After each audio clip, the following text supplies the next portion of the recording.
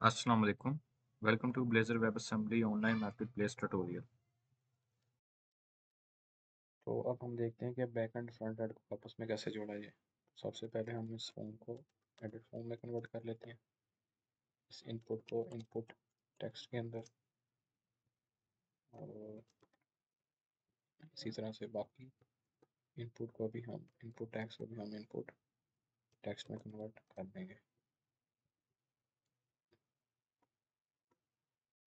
मैंने यहाँ पे सारे इनपुट टैक्स को इनपुट टेक्स्ट में कन्वर्ट कर लिया। और अब इस बटन को हम type is equal to submit दे देते हैं। तो कोड के अंदर मैंने यहाँ पर एक क्लास बनाई है सेलर फॉर्म के नाम से, नाम की। तो अभी देखते हैं इसके, इसको हम क्यों यूज़ करेंगे। पहले यहाँ पर हम नेम स्पेस ऐड कर लेते हैं। मार्केट प्लेस शेयर सो इस सेलर फॉर्म के अंदर हमारे पास सेलर और एड्रेस इन दोनों की इंफॉर्मेशन हम इस सेलर फॉर्म के ज़रिए फॉर्म से ले रहे होंगे। और यहाँ पर हम लिख देंगे मॉडल इज़ टू लेट से हम नाम रख देते हैं जैसे फोर और फॉर्म को हम यहाँ पे इनिशलाइज कर देते हैं।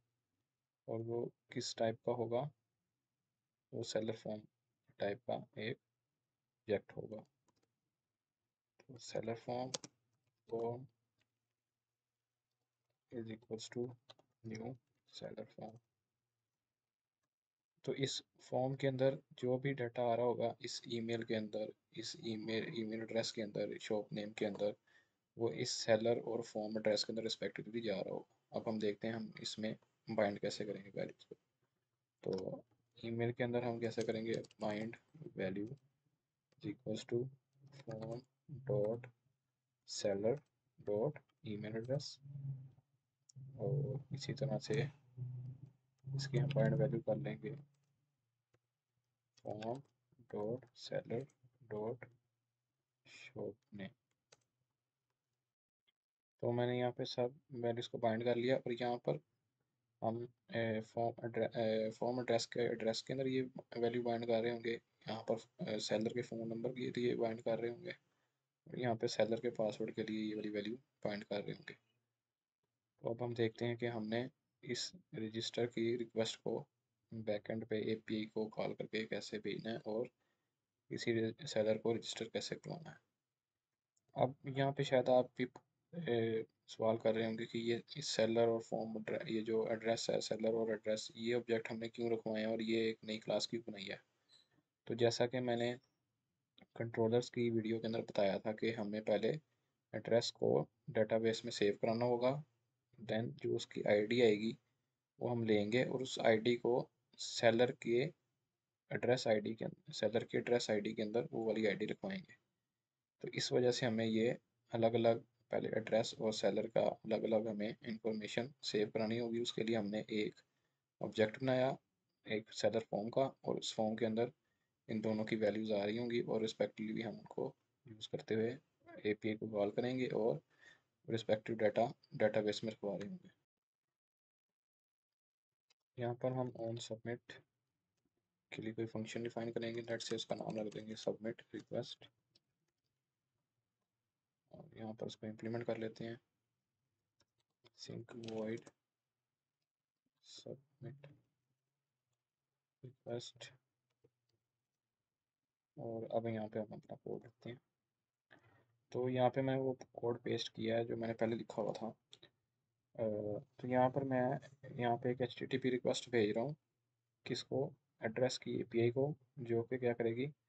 फॉर्म डॉट फॉर्म एड्रेस को, इस वाले ऑब्जेक्ट इस वाले ऑब्जेक्ट को सेव करा रही होगी डेटाबेस में। कहाँ पर एड्रेस के टेबल के अंदर। और उससे हमारे पास कोई रिस्पॉन्स आ रहा होगा। इस एच को हम यहाँ पर इंजेक्ट कर लेते हैं। At inject H T T P client और इसका नाम देते हैं एच टी टी पी सो अब ये एरर रिमूव हो जाएगा। और यहाँ पर हम एड्रेस एक एड्रेस आईडी ले रहे हैं। वो कैसे लेंगे? Response dot content dot read as a read as string async करके। तो जो रिस्पॉन्स हमारे पास आ रहा होगा एज अ स्ट्रिंग हम रीड करेंगे देन उसको इंटीजर में कन्वर्ट करके हम एड्रेस आईडी के अंदर उसको स्टोर करा देंगे।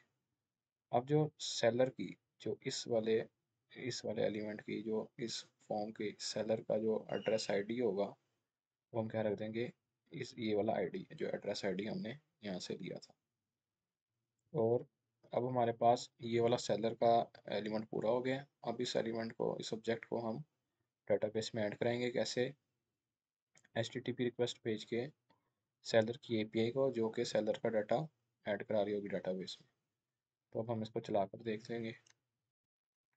तो हम जाएँगे रजिस्टर के पेज पे। यहाँ पे लेट से हम देते हैं new added seller at com then shop name कुछ भी दे देते हैं address X Y Z phone number भी कुछ भी दे देते हैं, और पासवर्ड हम ए बी सी दे देते हैं।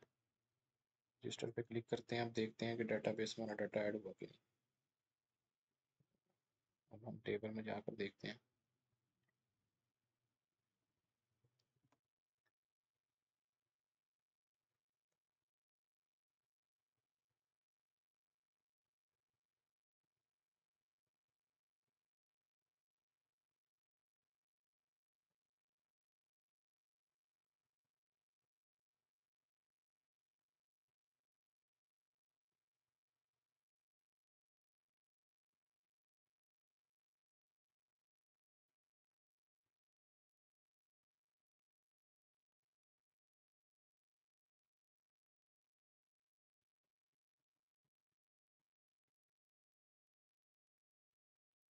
तो हम यहाँ पर देख सकते हैं कि हमारा डाटा जो हमने एंटर किया था, वो डाटाबेस में ऐड हो चुका है।